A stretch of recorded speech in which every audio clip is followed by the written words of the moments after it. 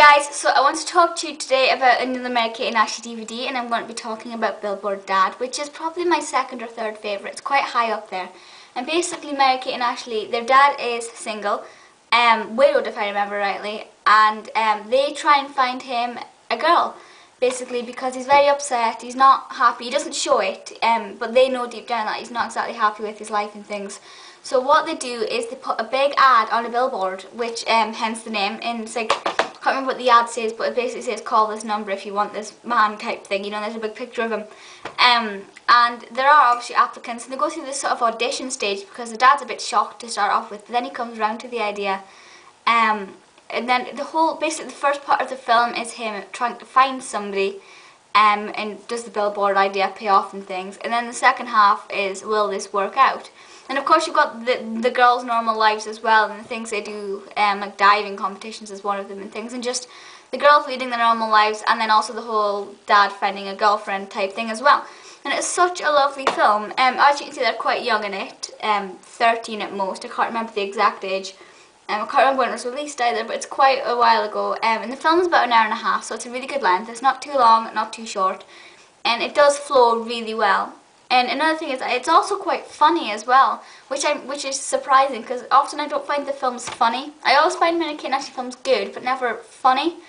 So I was quite surprised by that actually, but I'm very delighted as well.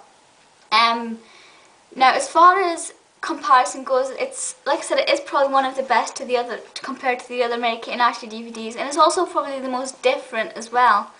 Because um, usually most of the films revolve around them and boys. And this one revolves around their dad and not boys, which is quite interesting. Obviously, you've still got that whole twist to it as well, but it is mainly about the dad for once, which is really quite interesting. And I think the title is so lovely as well. It's just so catchy. Um, definitely a great film and well worth watching if you're a Mary Kate and Ashley fan. But even if you're not, obviously if you're repulsed, repulsed by the the Olsens, um, don't watch it. But um, if you're not necessarily a Mary Kate and Ashley fan, it's still worth watching because the plot is still brilliant. As far as price goes, it's not going to cost you a lot of money either. I think I paid five pound for this. You can get it online for like three pound or something as well if you're timing it right, which is a brilliant, brilliant price for a great DVD. Well worth the money, and you can sometimes buy box sets as well of Mary Kate and Ashley DVDs. I'm not sure if that's part of them. But um, it'll come up on Amazon and eBay and things if you type it in. Um, so if you're a fan of the Olsens, definitely worth a watch. It is a PG, so it's suitable for pretty much everybody, which is great. Um, definitely worth going to get hold of if you can. It's very rarely repeated on TV nowadays, so you will probably have to buy the DVD if you want to watch it. Um, but apart from that, yes, yeah, so go and buy it if you can. Or if you can get hold of somebody else's copy and watch it, let me know.